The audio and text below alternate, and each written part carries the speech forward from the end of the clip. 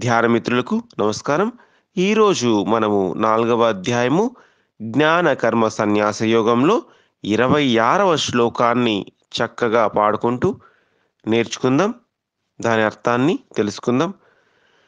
శ్రోత్రాదీనింద్రియాణ్యన్యే సంయామాగ్నిషు జుహతి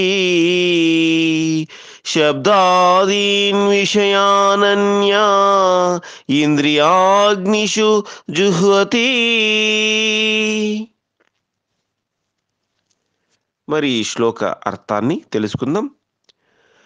కొందరు శ్రోత్రాది సమస్త ఇంద్రియములను సంయమన రూపాగ్నుల యందు హోమము చేయుదురు. మరికొందరు శబ్దాది సమస్త విషయాలను ఇంద్రియ రూపాగ్నుల యందు హవనము చేయుదురు అని చెప్తున్నాడు పరమాత్మ.